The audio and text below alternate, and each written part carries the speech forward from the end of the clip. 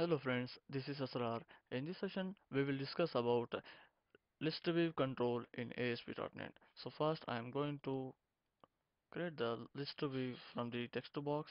So just right click or double click in it. I have double click on it and between the list view, I am going to create a item template. There are several templates, so just I am selecting the item template so that the data should be list view in the, between the list item. Under the list item, I'm going to create a div tag and in the div tag, I'm going to create a table format. So the alignment should be perfect. So just uh, I have created the CSS class for the Outlook. So just I'm going to create a class as a list and in the table I have I'm going to just create the three rows uh, and contain the only one column as uh, first column mentioning has image and second column for the heading and third column for the paragraph which is the blog description. I'm just going to create the the list view has a blog so just look out this I am in my database I'm just having a one blog table. The blog tables I am just having a blog head blog description and blog image. So just I'm going to repeat it as a list view so look out this table. I'm having a five fields as a heading 1 heading 2 heading 3 and heading 4 so just I'm going to create it as a, first of all I'm going to create as image. So image src and the path is coming from the database.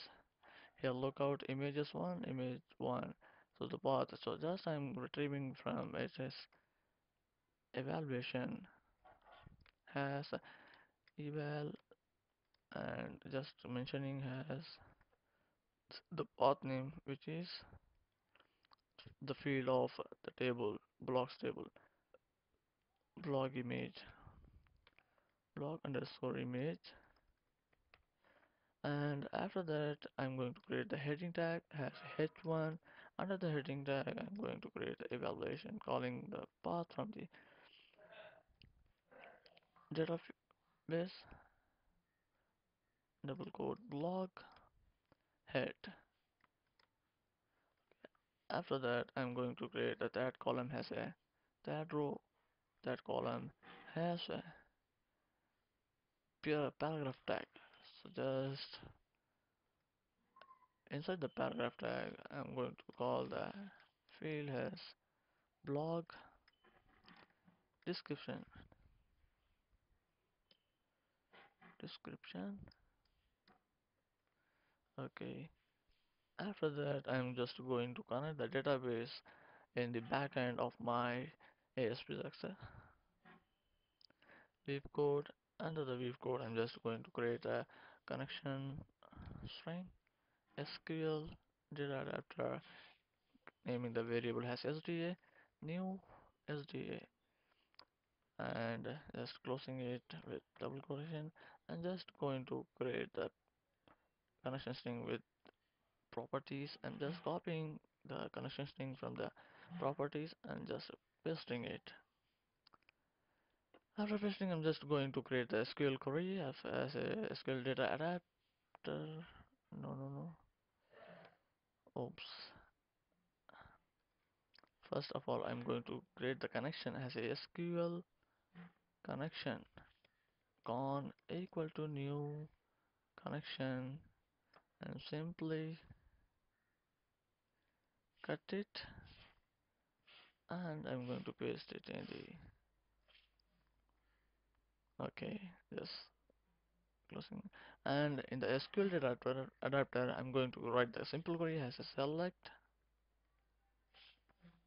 star select all from the blogs. And simply giving the connection to the query and creating the data table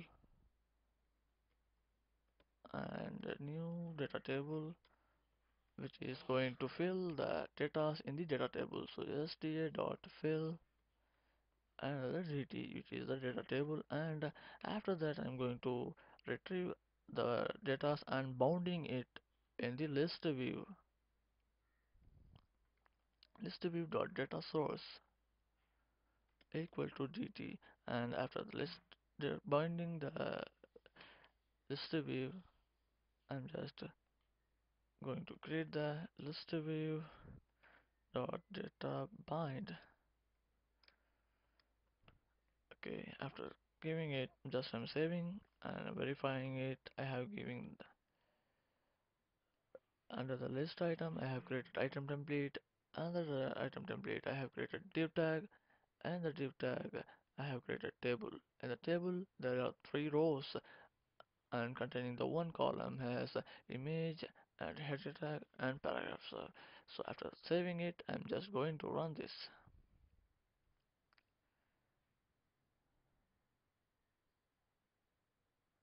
I have got this with the list view has perfect alignment as I expected. Hope you enjoyed. If you like this tutorial, don't forget to subscribe. Have a good